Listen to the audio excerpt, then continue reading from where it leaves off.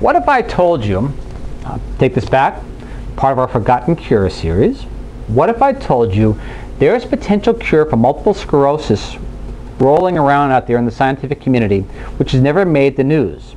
Meanwhile, as people are taking medications, glucocorticoids, which have very little impact on stopping the disease, this treatment has gone unnoticed.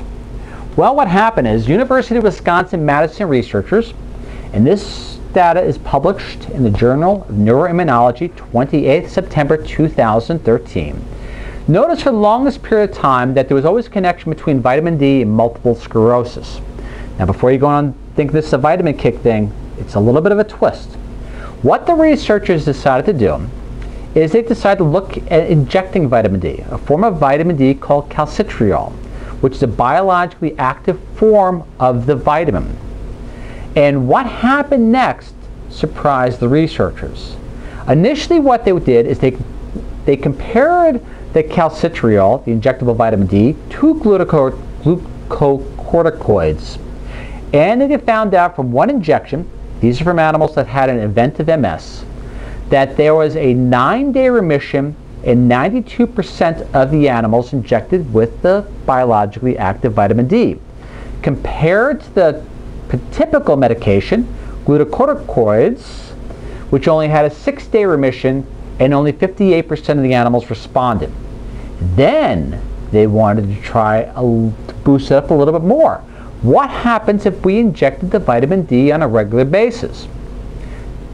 This is what occurred. In their words, they said all the animals just got better and better. And the longer we watched them, the more neurological function they regained. Quote, biochemistry professor Colleen Hayes, who led the study. And so, the researchers being concerned on top of that about the side effects of calcitriol being injected on a regular basis, they decided to just take a little bit of a side road. And this is what they called the third regimen. And the third regimen, they did this. They took a single dose of calcitriol, vitamin D, then followed it with a typical supplement form of vitamin D you find on any grocery store shelf. This is what happened. It was this one-two punch of the injection and the supplement was a runaway success. 100% of the animals responded. Not only responding by less episodes, they said halted and even reverse the course of disease in animal models, which is unbelievable for multiple sclerosis.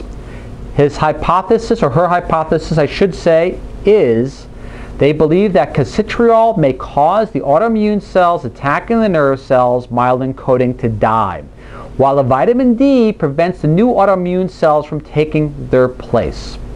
So, the moral of the, moral of the story is this. If you're already taking medications, which you know is an end game, talk to your medical practitioner your medical doctor.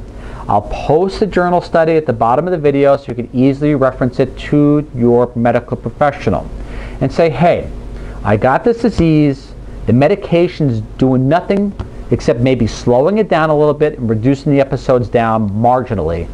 Why don't I try this? It's got very little side effects. You've probably got none if you're only doing one injection of vitamin D and taking the supplements. Or I should say your safety margin is incredible. And give it a shot.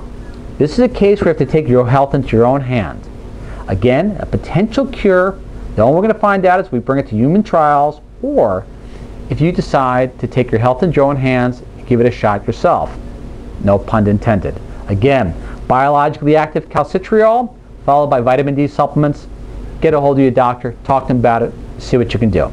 Thank you. It's Forgotten Cure series. Once again, Ralph Turchiano. Thank you.